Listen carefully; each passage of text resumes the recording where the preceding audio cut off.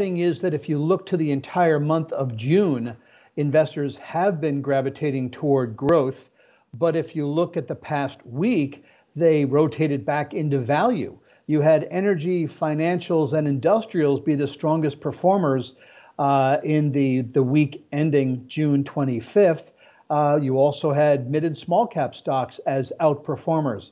Um, but if you look at the entire month, then no, the technology shares, along with other growth areas, have been doing better. So I think right now what is happening is that investors are simply engaging in rotation rather than retreating from stocks altogether, which in my view is a positive sign because it indicates that we still have broad participation or breadth, as it's called, uh, which is encouraging for further advances.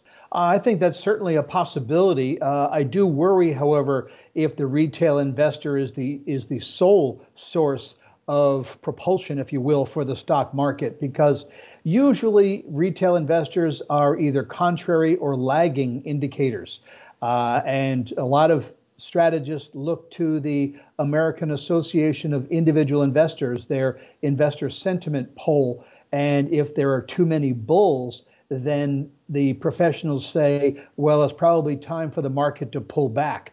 So um, I would hope for both institutional and retail optimism rather than just from the retail side. Well, the banking stocks have already done very well, uh, as well as the financial sector itself.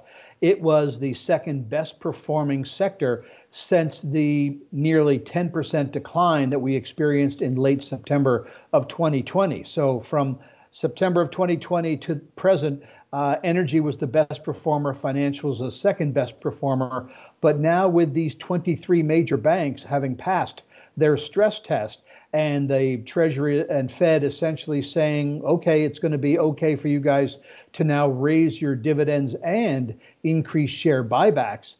Uh, that's one of the reasons why the regional banks were in the top 10 in terms of sub industry performances last week. So, our, our belief is that yes, there could be some good opportunities down the road.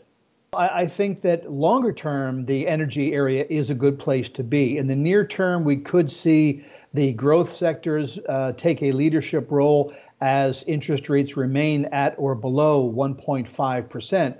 Uh, but I think that as the economy continues to expand, as the international economies uh, participate as well, I think there will be continued upside pressure on oil prices, and that could be beneficial to many oil companies, especially some of the larger integrated companies that also offer a nice dividend yield uh, when you look at what the 10 year note is yielding versus what many of these stocks are yielding, uh, it ends up being a no.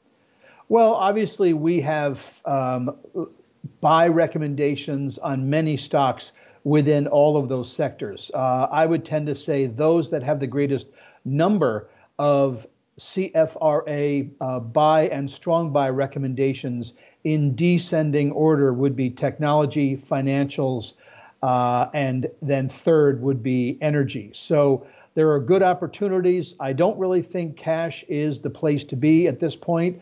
Um, maybe tapering starts to take place late this year, early next year. Maybe we start to see the first rate increase late next year, early 2023. So I, I think it's it's too early to be bailing out of stocks and moving into cash.